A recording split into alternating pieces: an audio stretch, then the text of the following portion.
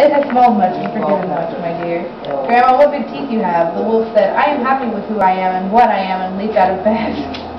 Grandma Red Riding Hood in the claws and intent, intent on devouring She's her. filming Red me Riding eating. screamed, not out of alarm at the wolf's apparent tendency toward cross-dressing, but because of his willful invasion of her personal space. Her screams were heard by a passing wood chopper person, or log fuel technician, as he preferred to be called.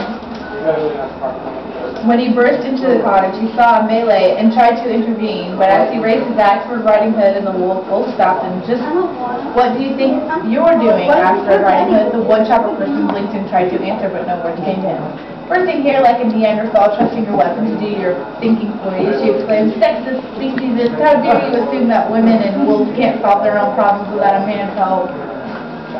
When she heard Red Riding Hood's impassioned speech, Grandma jumped out of the wolf's mouth and seized the woodchopper person's axe axe and cut his head off. After this ordeal, Red Riding Hood, Grandma, and the wolf felt a certain com- commonality in person. They decided to set up an alternative household based on cooperation, and they lived together. Oh, my goodness.